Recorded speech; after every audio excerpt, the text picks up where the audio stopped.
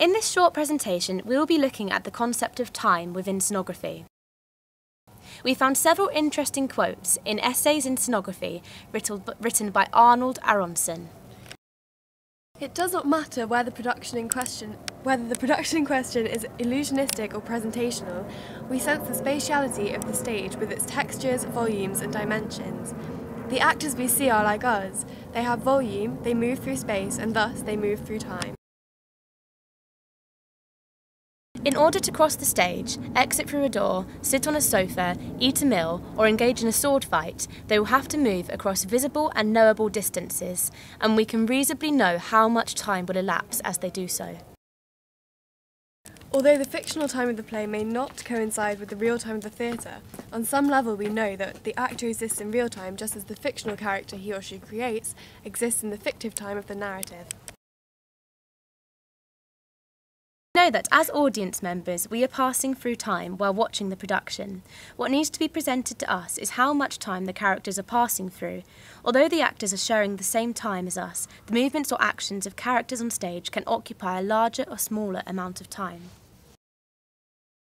Robert Wilson is famous for his use of light in his productions and his furniture design. He focuses on the passing of time through his lighting. Robert Wilson said that the most important part of theatre is light.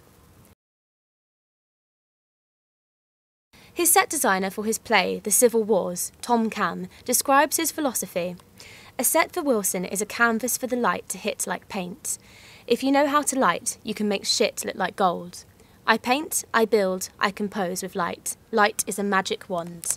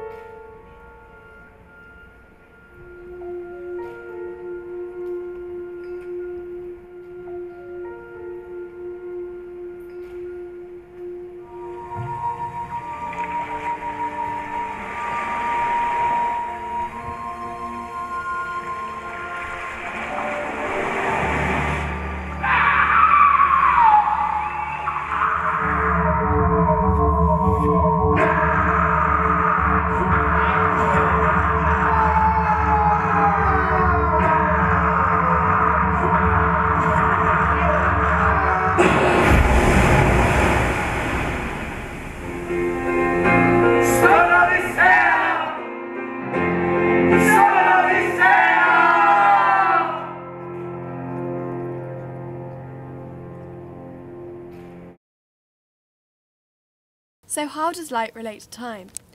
Light changes in relation to time, so without light, would everything that happened in theatre be moving only through real time? Essays on Scenography quotes Theatre, like a novel, can leap across time and space with a few words, but on moments to moments level, theatre had to obey natural laws. A character who entered through a door had to transverse a quantifiable space in order to reach a table, say. This took the this took the same time on the stage that an equivalent action would take in the real world. Time could be negated only by a convention such as closing the curtain that implied the obliteration of space. Adolphe Appia is a Swiss architect and theorist of stage lighting who is best known for his designs of Wagner's operas.